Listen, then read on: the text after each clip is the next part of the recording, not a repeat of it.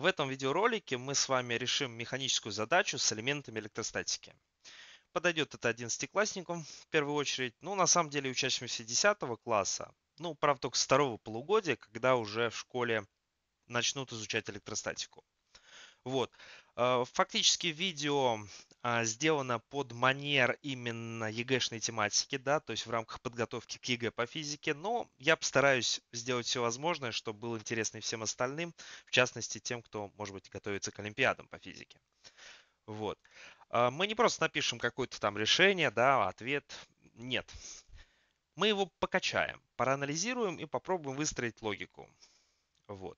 Сделаем все честно, подробно. И что самое главное, в самом конце решения мы с вами сделаем акцент на том, как надо оформлять. Что обязательно нужно делать, чтобы потом на ЕГЭ, попадись вам эта задача, вы сделали все на максимальный балл. Ну вот, это правильно всегда делать, и мы с вами это сделаем. Ладно, давайте переходить к условию. Так оно выглядит. Маленький шарик, массой маленькая, с зарядом Q маленькая равная 5 нанокулон подвешенный к потолку на легкой шелковой нитке длиной L равной 0,8 метра, находится в горизонтальном однородном электростатическом поле с известным модулем напряженности поля. Это вот E равное 6 на 10 в 5 вольт на метр. Ну, сумма рисунок, это вот, вот посмотрите на рисунок, да, вот здесь я его себе заранее подготовил. Шарик отпускают с нулевой начальной скоростью из положения, в котором нить вертикальна. Ну, здесь это пунктиром в условии отмечено, ну, у меня тоже понятно. В момент, да, то есть вот время прошло, в момент, когда нить образует с вертикали угол, соответственно, 30 градусов, модуль скорости шарика V составляет 0,9 метра в секунду. Вопрос. Как направлена эта скорость? Ну вот пройдите опрос, я думаю, будет интересно посмотреть. Ну и к этому, конечно, потом вернемся. То есть как направлен вектор скорости шарика в конце, вот здесь.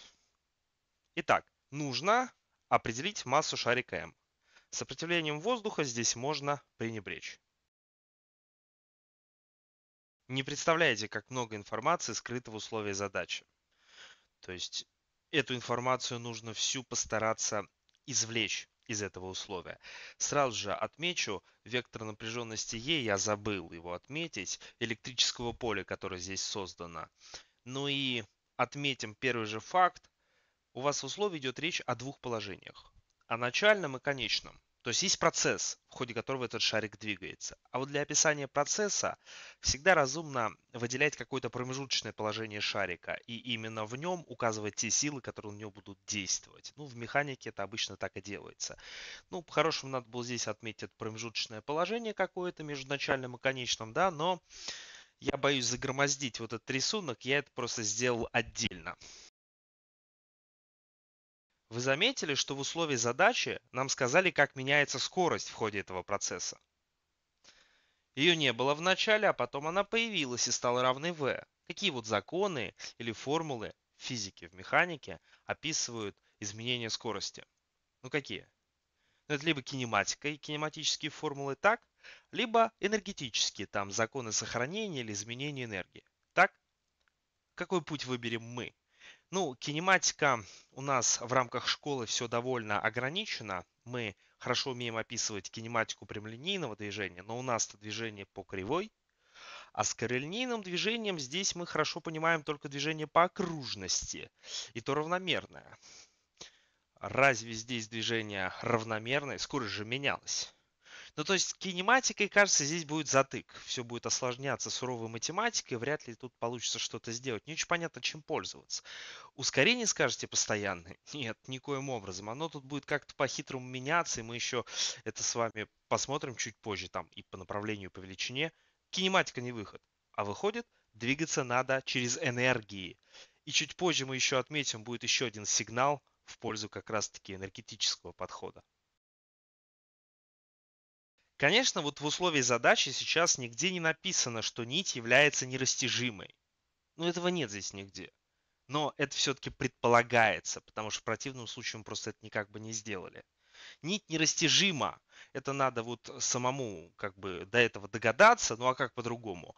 А это говорит о том, что расстояние от нашего шарика до точки подвеса неподвижной, вот это расстояние, оно не меняется. Оно всегда будет равняться длине нити и будет оставаться неизменным. А значит, двигаемся мы по части окружности. Значит, скорость, которая всегда направлена по касательной к траектории, будет направлена по касательной к окружности. В частности, выходит сам конц, помните, да, вот, вот опрос был, скорость будет направлена по касательной к окружности, вот эта скорость v в конце, а значит перпендикулярно радиусу то есть вот таким вот образом по касательной к окружности. Но это сразу надо было здесь отметить, и мы это с вами сделали.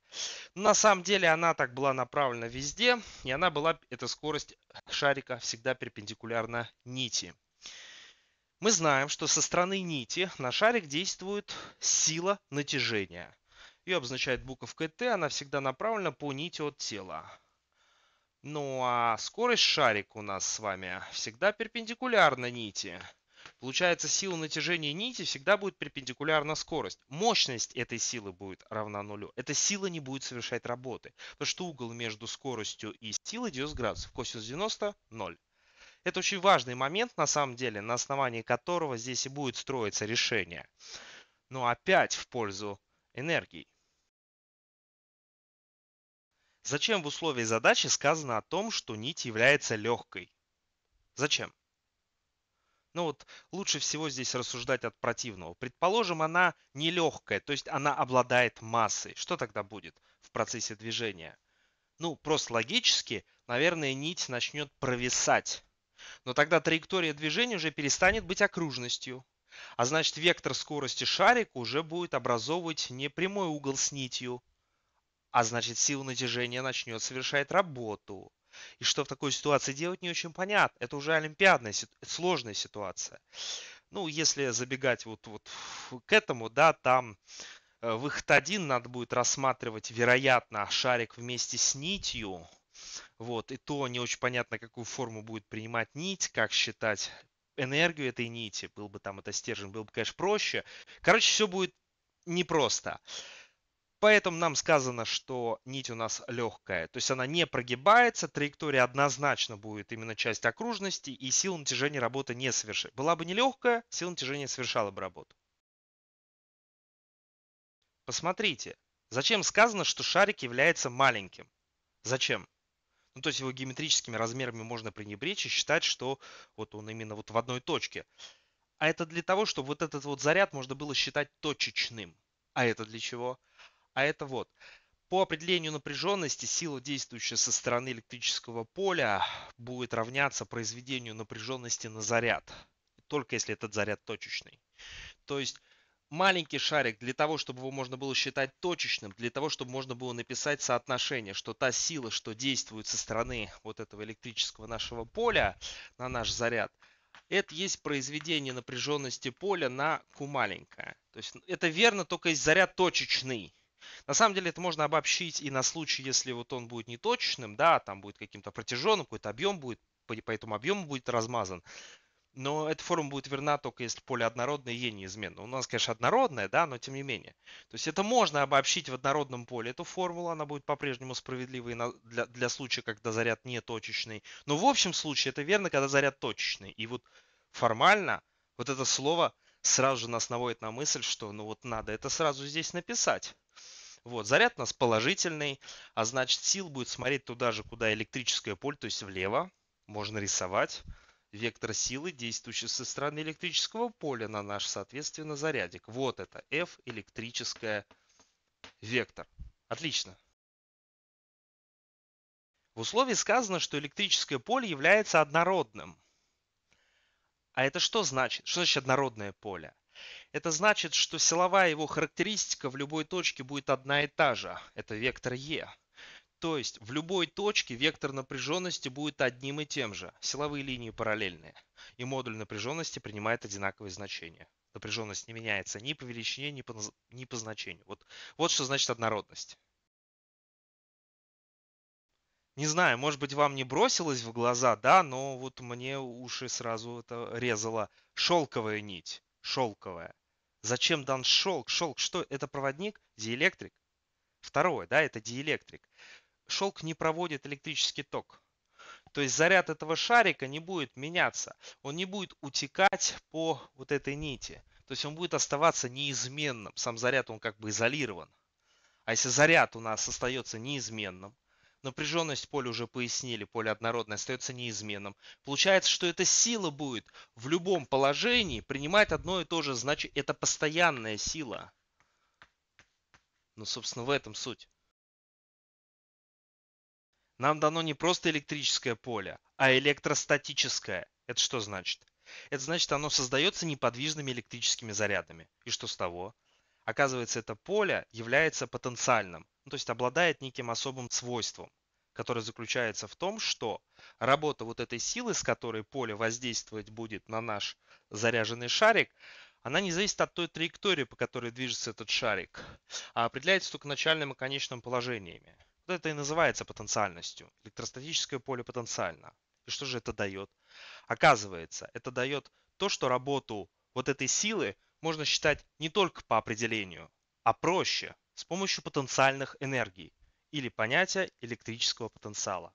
То есть, если нам нужно будет записать работу, которую будет совершать эта сила, давайте мы это сразу же здесь отметим, ее можно будет считать, работу этой силы, как начальная потенциальная энергия, P начальная электрическая, минус конечная потенциальная энергия. Ну, я здесь э, P русской обозначаю просто по привычке. Если кто-то привык ЕП писать, пишите так. Как выражается потенциальная энергия для вот такой потенциальной силы, чуть позже обсудим. На картинке к условию был отмечен вектор ускорения свободного падения g. Кстати, в ЕГЭ это всегда 10 метров на секунду в квадрате. Это ускорение свободного падения. Для чего? В чем суть? Ну, просто показать, что здесь гравитационная сила действует притяжение к Земле, то есть наш шарик будет испытывать действие силы тяжести. Но она будет направлена всегда туда же, куда и G, то есть всегда вертикально вниз. Ну и, конечно же, ее здесь было бы неплохо указать. То есть у нас будет действовать здесь силу тяжести, также еще МЖ. Вот. Ну, естественно, наличие G говорит о том, что не забудь силу тяжести. В условии сказано, что силы сопротивления надо пренебречь. Ну, формально это говорит о том, что вот три силы действуют, других сил нет. Все. Вот сумма этих сил в каждый момент времени по второму закону Ньютона будет обуславливать ускорение этого шарика. Но как оно будет себя вести? Конечно, сила тяжести у нас неизменна, всегда вертикально вниз. Сила электрическая неизменна, всегда горизонтально влево. Но вот сила натяжения-то она поворачивается. Ну и в общем случае по величине будет меняться. А значит и ускорение будет переменным. Оно будет здесь даже направление менять. Не надо думать, что оно будет направлено к точке О, к центру окружности. Это не так. Здесь у вас неравномерное движение. Это принципиальный момент. Мы не будем, наверное, анализировать, э, что, как здесь с ускорением происходит. Ну, тут никто про это, во-первых, не спрашивает нас. Вот. А во-вторых, э, захотим мы, если где-то выразить ускорение, надо знать силу натяжения в этом положении. Мы ее не знаем. Ну, то есть это тупиковый путь. Именно поэтому ускорение здесь даже показывать не буду. В этом нет никакого смысла. Заметили, да, в условии был дан угол 30 градусов. Ну, на самом деле это уже свидетельствует о том, что будут появляться синус альфа и косинус альфа в решении. Ну, потому что альфа 30, а синус косинус 30 хорошее значение. Мы их знаем, да, то есть вот нужно быть готовым к тому, что будут эти тригонометрические функции. Этот факт в условии говорит именно об этом. Ну, какой можно сделать вывод, да, что нам в условии на самом деле обнамекались на предмет того, что ну, коллега, давай действуй через энергию, через работу. Все об этом говорит. Мало того, что нам говорили о том, что в этом процессе скорость меняется от нуля до v, да, мы уже об этом говорили, так еще и мы знаем, что поле электростатическое, то есть оно потенциально, то есть вот работа, энергия, через энергию надо двигаться. Автор обнамекался. Ну, видите, как много всего на самом деле мы получили из условия.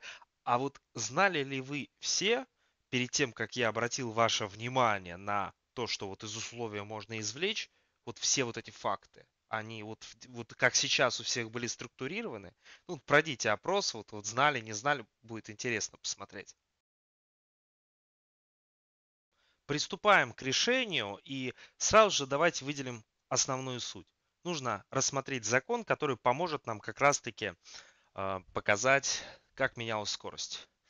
Ну, тут можно по-разному действовать, законов много. Вот если говорить про ЕГЭ по физике, есть особый документ, называют его кодификатор ЕГЭ, там все эти законы указаны, ну, собственно, они есть и в любом учебнике по физике. Мы, пожалуй, выделим самое основное из них, а потом скажем, как можно еще. Тут разные есть, конечно же, пути. Давайте рассмотрим закон об изменении или теорему об изменении кинетической энергии. О чем она говорит? Она говорит о том, что работа всех сил, что воздействуют на наше тело, равна разности его кинетических энергий, именно кинетических. Итак, по закону, можно теореме, неважно, да, то есть что вы здесь вот выберете, об изменении кинетической энергии, работа всех сил, значит, это работа сил со стороны электрического поля вот этой, плюс работа сил натяжения нити, плюс работа силы тяжести, а тяжести напишем, это разность кинетических энергий. mv в квадрате пополам конечная минус нулевая начальная. Ну, то есть просто 1 вторая mv в квадрате. Ну, мы уже говорили о том, что сила натяжения у нас всегда перпендикулярна скорости, а значит, сила натяжения совершает работу. Ну, мы должны показать знание этого факта. Мы же с вами это озвучили только устно. То есть мы должны сказать прямо вот отдельно, что работа силы натяжения равна нулю, так как сила натяжения перпендикулярна скорости. Но я, конечно, напишу, наверное, вот таким образом. Скорости со значком вектора, да? Не буду писать v. Почему? Ну, v все-таки это конечное значение скорости, а у нас в любой момент так было, поэтому лучше так. Хотя можно, в принципе, и v. Хорошо. И все сводится к тому, чтобы посчитать работы остальных сил. То есть наша цель посчитать эти работы. И вот тут могут быть э, разные способы. Начнем мы, пожалуй, с такого самого прямого, может быть, и не самого рационального по определениям. А потом воспользуемся тем, что сила со стороны электрического поля, электростатического, она является потенциальной. Работу можно посчитать и не по определению, а через потенциальные энергии. Ну а также тем, что на самом деле сила тяжести, эта сила тоже потенциальная. Ее работу тоже можно через потенциальные энергии посчитать. Сначала давайте по определению первый путь выберем. Ну, начнем, наверное, с работы силы со стороны электрического поля. Ну, сила постоянная у нас в любой момент, поэтому тут можно смело будет по определению. Это есть не что иное, как произведение силы на величину перемещения, модуль вектора перемещения, и на косинус угла, допустим, бета, между этой силой и перемещением. То есть было бы неплохо сейчас взять и как-то показать вектор перемещения. Это вектор, соединяющий начало и конец движения. Вот он, вектор S, пусть у нас будет. Давайте сразу же здесь его вот так отметим. Ну, сила у нас направлена горизонтально, то есть угол бета – это угол между горизонталью и перемещением. Вот он, альфа, он, естественно, не обязан равняться. Ну, замечательно, с этим надо что-то делать, и я думаю, что нужно s косинус бета представлять в что-то более здесь удобное. Давайте так поступим. Перпендикуляр вот так опустим и договоримся об обозначениях. Давайте считать, что за все вот время нашего процесса мы с вами переместились по горизонтали на расстояние d маленькое, а по вертикали поднялись на высоту h. На самом деле можно их сразу выразить через альфа и L длину нити. Если мы двигаемся по окружности, это радиусы, то есть это все L. А вот это L косинус альфа из этого прямоугольного треугольника. Да, вот L косинус альфа, вот это, это L. Значит, H какое? L минус L косинус альфа. Я бы сразу здесь это написал. Итак, H это L минус L косинус альфа. Так, теперь с D разберемся. Но это, видимо, по определению синуса. Гипотенузу на синус угла даст противолежащий катет. То есть L синус альфа есть D. Давайте сразу здесь это укажем. Это, конечно, надо уметь делать быстро.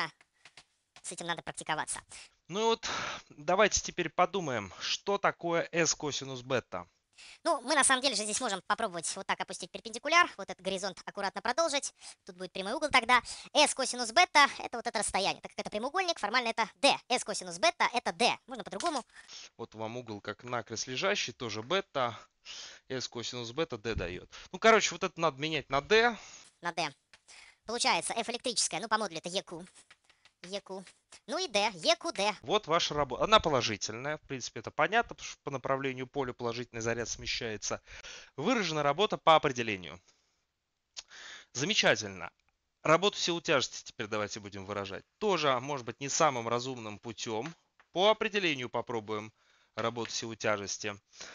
Итак, сила тоже тут постоянная, то есть можно по определению, это произведение силы на перемещение и на косинус угла между силой и перемещением. Ну, каков этот угол?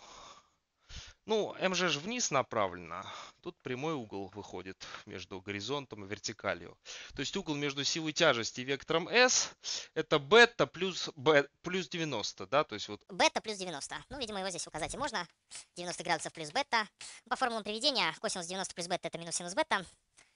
Мы будем с вами получать минус тогда МЖС Синус бета. Что такое синус бета? Ну, давайте опять из этого прямоугольного треугольника. S синус бета это H из геометрии. Угу. Можно заменить. Итак, выходит минус MGH, работа силы тяжести. А в то, что она отрицательная, кстати, ничего удивительного нет. Вы же против тяжести вверх поднимаете, тогда вот сила тяжести всегда отрицательную работу совершает. Все, готово. Можно дальше, вот, дальше подставлять вот это D, H, подставлять все сюда, и все будет хорошо. И мы уже будем близки, формально можно считать, мы решили задачу, да? Вот. Но как можно еще посчитать эти работы? Хотелось бы сразу это отметить. Силы эти потенциальные можно через потенциальные энергии. Ну, давайте вот отдельно по скриптам сразу же про это скажем. Можно так, либо вот как сейчас здесь напишем. Ну, проще всего силу тяжести сначала разобраться. Итак, работа силы тяжести может быть также найдена как начальная потенциальная энергия. Сила, соответственно, тяжести минус конечная потенциальная энергия силы тяжести. А, ну, она считается по формуле МЖH, но мы где-то должны выбирать ноль потенциальной энергии. Физический смысл есть только у разности. Просто потенциальная энергия, она может быть в конкретном положении определена только если мы где-то выберем ноль потенциальной энергии, точку отсчета. Выбрать мы можем где угодно. Ну, предположим, вот здесь, на этом уровне, потенциальная энергия силы тяжести равняется нулю. Тогда вначале ее нет, мы в нуле. А потом, когда мы поднялись на высоту h, вот здесь, она стала плюс mgh. Была 0, стала mgh. То есть 0 минус mgh, ответ минус mgh. Ну, mgh это та формула, как раз по которой мы определяем потенциальную энергию. Если там выше с плюсом, ниже с минусом нуля потенциальной энергии. Вот. Как же быть с работой стороны электрического поля? Ну, формула уже была записана, но давайте с ней все-таки поработаем. Потенциальная энергия в электростатическом поле выражается как произведение заряда на потенциал поля в той точке, где этот заряд находится. Потенциал буковкой φ обозначается. Формально работа есть. Начальный потенциал, потенциал начальной точки, минус конечный потенциал, умножить на тот заряд, что перемещается. Не по модулю с учетом знака. А вот что делать с этой разностью потенциалов? Тут фи начальный потенциал поля, тут фи конечный. Что делать с ней? Ну вот здесь есть соответствующие знания на предмет однородного поля. Оказывается, в однородном поле разность потенциалов равна произведению напряженности по модулю Е на расстояние вдоль силовых линий между этими двумя точками. А это D маленькая как раз и будет. Да, то есть вот если есть поле, разность потенциалов, это всегда напряженность на расстояние D вдоль силовых линий именно, то есть это S косинус бета, именно на D. Можно это будет смело заменить на ED, и мы опять получаем то же самое. Ну, то есть нужно просто знать соответствующее соотношение для разности потенциалов и связи ее с модулем напряженности. Ну, можно это выводить, это тема отдельная, да, но я просто показал, что можно и по-другому было посчитать эту работу, и результат будет на самом деле ровно тот же самый. Неважно, какой путь вы выберете здесь. Вот он результат. Замечательно. Это наш ответ в общем виде. Вот. Ну, конечно, один лишь всего лишь закон пришлось здесь использовать, чтобы это получить, но тем не менее. Ну, как можно было действовать еще? Какой еще есть вариант. Можно было просто использовать не этот закон, а какой-нибудь другой закон. Ну, то есть, давайте опять вот это как лирическое отступление по скриптум скажем. А, помимо закона об изменении кинетической энергии, есть еще и вариации этого закона с механической энергией, где под механической энергией понимается сумма кинетической энергии потенциальных вот, для потенциальных сил. Ну вот если у нас работа непотенциальных сил, воздействующих на наше тело, равна нулю, то тогда механическая энергия будет сохраняться. Ну, конечно, говорить о том, что сила натяжения тут сила непотенциальная, может быть не очень хорошо, потому что это сила упругости при малых деформациях, но ее фиг выразишь, так что давайте ее отнесем к таким. Может быть, это не очень хорошо будет. Работа силы натяжения равна нулю. Не нулевые работы совершают только потенциальные силы тяжести и сила электрическая. А значит, будет выполняться закон сохранения механической энергии. То есть сумма кинетической потенциальных энергий шарика в начале и в конце будут равны. И в принципе можно было вместо этого закона, вот пункт 2 как можно было бы поменять, действовать по-другому. По закону сохранения механической энергии. И это бы тоже все зачли, конечно же. По закону сохранения механической энергии. Ну, давайте мы его просто в общем виде напишем. Итак, кинетическая энергия вначале отсутствует. Потенциальная энергия силы тяжести, давайте считать здесь равна нулю, то есть тоже отсутствует. А потенциальная энергия для сил стороны электростатического поля это фи начальная на q. То есть 0 плюс 0 плюс фи начальная на q. Так считается потенциальная энергия для сил стороны электрического поля. Это есть кинетическая в конце mv в квадрате пополам. Потенциальная сила тяжести в конце mgh. Можно сразу же здесь это добавить. И потенциальная для силы электростатической это фи конечная на q. Замечательно. Но обратите внимание, что это вообще было бы самый простой, наверное, здесь вариант, да, то есть мы бы сразу тогда бы расписали здесь фи начальное минус фи конечное как ед. Просто перенесите вот, вот это вот туда, там q вынесите, замените разность потенциалов на ед. И опять будет dh, который мы отсюда подставим, и мы в итоге все равно получим то же самое соотношение. Откуда сразу получим ответ. Ну, прелесть такого варианта в том, что не надо морочиться с работами. То есть они тут уже в виде разности потенциальных энергий фигурируют. Так тоже можно делать. То есть вот еще один путь, да. Ну хорошо. Наша цель теперь посчитать, провести численный расчет и сделать все-таки выводы, акцентировать внимание на оформлении. Я не стал вас томить арифметикой, вот он числовой расчет, тем не менее давайте все проговорим. Значит, нанокулон это 10 минус 9, тут надо все переводить в систему СИ, в рамках ЕГЭ так принято. Значит, синус 30 это 0,5, косинус 30 это корень из 3 пополам. Но надо это посчитать. Ну, конечно, тут надо брать калькулятор это и делать, но в принципе можно оценить и без него. Вдруг там батарейка сядет, сломается. Надо это всегда отрабатывать, это очень хороший тренинг. Ну давайте вместе попробуем. Значит, во-первых, 10 пятый на 10 минус 9 дает 10 минус 4. Сразу же, да? То есть вот это 10 минус 4 фигурирует. Далее, 2 а, умножить на 0,5 это единица. 5 умножить на 0,8 это 4, 4 умножить на 6 это 24. То есть фактически в числителе у нас с вами будет находиться 24 на 10 в минус четвертой степени. Что же в знаменателе? 0,9 в квадрате это где-то 0,81. Можно сразу же это написать. Далее, корень из трех. Надо приблизительно знать, это 1,73. Пополам, если это 0,87 приблизительно. Ну, если округлять. 1 минус 0,87 это 0,13. Можно сразу же здесь написать.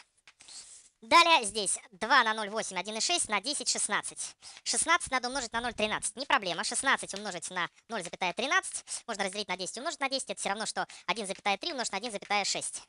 А 1,6 это 2 минус 0,4. То есть это 1,3 умножить на 2 минус 0,4. Мне кажется, просто так будет проще. Ну хорошо, 1,3 на 2 это 2,6. Минус 1,3 на 0,4 это 0,52. То есть получается здесь 2,08. Угу. То есть получается, что мы должны 2,08 сложить с 0,81 и получится знаменатель. Это будет 2,89. 2,89. Ну, фактически приблизительно 3. 24 на 3 дает 8. Собственно, вот он ваш результат. То есть можно и, в принципе, без всякого калькулятора здесь обойтись. Далее. Вообще очень неплохо применять проверку по единицам измерения. Ну, конечно, когда времени нет это делать не всегда успеваешь, да, но тем не менее, почему бы не попробовать.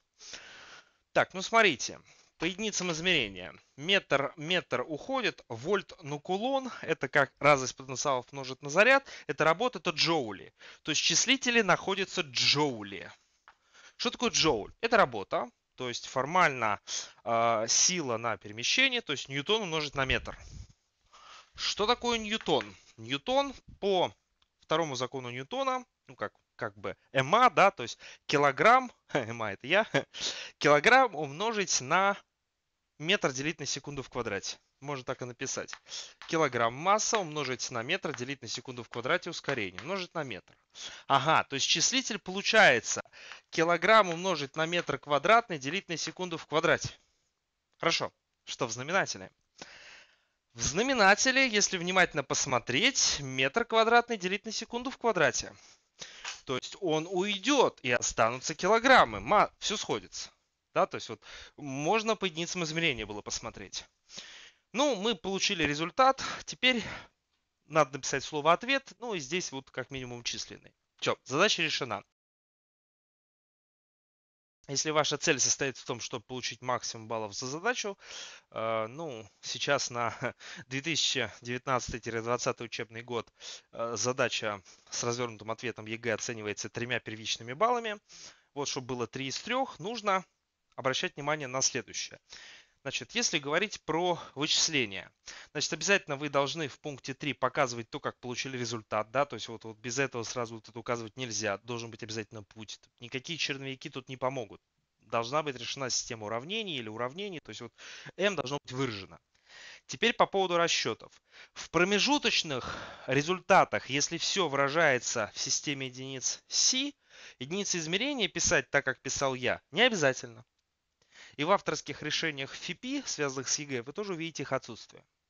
Тем не менее, в конечном результате важно писать единицу измерения. Если вы ее здесь не укажете, то вы потеряете сразу же балл по, соответственно, критериям проверки. А, нужно ли тут в системе C представлять? Ну, учитывая, что вы здесь в C все выражали, то сначала надо в C все записать. А вот далее, если вы хотите это как-то вот причесать, вы можете поставить знак равно и написать там 0,8 грамма, да, то есть вот и в ответ 0,8 грамма. Ну, вот в C сначала все-таки результат первый привести стоит. То есть здесь единица измерения обязательно, здесь нет, если все в C. Что если вдруг э, так выходит, что у вас есть там здесь длина в сантиметрах, здесь длина в сантиметрах. Как бы сантиметры сокращать. Какой толк это переводить в си? Ну, оставляйте и там, и там сантиметры. Вот, они просто сократятся. Но тогда вам придется уже здесь писать единицы измерений. То есть, если у вас здесь есть что-то выражено не в системе си, то лучше их указывать, чтобы просто проверяющий понимал, что вообще происходит. Почему вы не переводили? А, там тоже сократится, понятно, да? Но, но это писать нужно. Вот. Ну, хорошо. Значит, далее, по поводу самого решения. Вы обязаны э, писать наименование тех букв, которые вы используете, если их нет в списке констант, если их нет в условии задач, если они не являются ну, общепринятыми. Ну, такими, как, например, в кодификаторе, в специальном документе, где там весь список рекомендованных законов и формул. Если у нас такие здесь, ну, на самом деле, может быть и есть, мы там вводили всякое D, H, там S и так далее, но формально мы показали, что это на картинке, это теперь стало понятно, да, то есть либо словами пишите, если без рисунка, что это такое там, D, то насколько по горизонтали сместились, да, там, А, что насколько поднялись, либо показывайте на картинке, я выбираю второе, вам тоже советую. Другое дело, что если что-то здесь не отмечено, но оно здесь фигурирует, и оно не общепринято, то тогда, наверное, надо все-таки написать, что это такое. Да? То есть вот, ну, тут без маразма, конечно. Да? Сильно увлекаться в писании не стоит. Далее, вы обязаны всегда указывать наименование всех физических законов и формул, которые вы используете. Желательно, ну это мое мнение, без аббревиатур. Они не всегда понятны. Поэтому я здесь писал полностью законы, там закон сохранения энергии указывал, да, то есть вот можете сокращать, да, но лучше писать полностью. Вот, вот их наличие будут проверять. Они должны, они обязательно должны быть, да, то есть вот все законы пишем. Далее. А, все векторные величины на картинках должны все-таки стрелкой быть со значком вектора. Если вы тут напишите просто там МЖ, Т, электрическое, могут не понять могут снять. То есть вот все векторные величины должны быть со значком вектора. Это принципиальный момент. Мы, кстати, по этой причине и здесь, соответственно, это все указывали. Да, это важно. Если вы используете второй закон Ньютон, то обязаны все-таки показать ускорение. Тут мы это не использовали, поэтому его не указывали. Его надо всегда рядышком рисовать, не от тела, а рядышком. Ну, тоже указывать, соответственно, стрелку, там, направление. Вот, ну как-то так. В целом нужно к такому оформлению да, долго получается, это я понимаю. Надо привыкать. Надо привыкать, и нужно вот э, некоторый такой этот стиль к моменту, когда будет ЕГЭ вырабатывать. Понятно, что если говорить о том пути, который проходит 11-классник, он сначала готовится там к середине года к Олимпиадам, в принципе, это все особенно не важно, все это оформление. Но как вот сезон Олимпиад кончился, там апрель-май, вот за эти пару месяцев вам нужно будет э, все равно, так сказать, перестроиться и э, вопреки тому, как, может быть, вы чем-то там жертвовали на Олимпиадах, да, вот на ЕГЭ надо это будет все писать. Вот. Ну, кажется, что за два месяца, если что, можно перестроиться, но тем не менее это не повод уже об этом знать и уже быть готовым к тому, а как нужно будет. Кто-то готовится сразу к ЕГЭ, без Олимпиад, да, то есть вот это надо знать. Ну, вроде ничего не забыл. На этом этот видеоролик подходит к концу. Вот. Надеюсь, он вам понравился. Мы будем и далее разбирать похожие задачи, анализировать. Главное здесь всегда вот пытаться выстроить какую-то структуру, пообсуждать, поанализировать, тогда все будет супер. На этом все. Заканчиваю коронными. Ботайте физику, верьте в себя, и все у вас будет отлично. Подписывайся. Пока-пока.